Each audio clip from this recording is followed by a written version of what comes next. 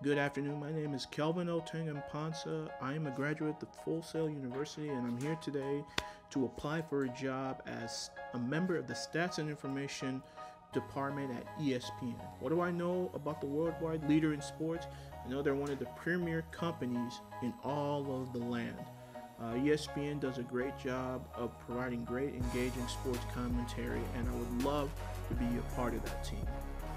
As far as my experience goes, I have experience with research, stats, and putting together graphics, overlays, and working in everything in the control room. So, clearly, I am the ideal candidate for this job.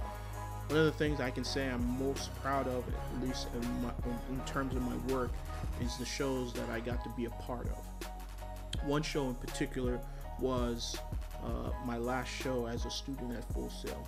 It was a 10 minute show with two blocks. One block consisted of soccer, the other block consisted of hockey, and I'm very proud of that work.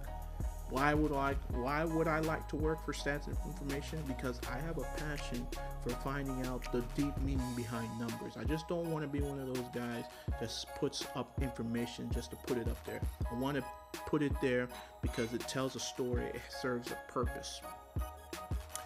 Uh, why I think I would be qualified for this job is because I feel like I'm one of the best candidates out there.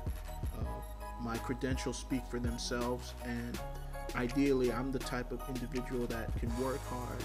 I'm great in a team environment, and most importantly, I love doing what I like to do. Now, in terms of three follow-up questions, I would ask.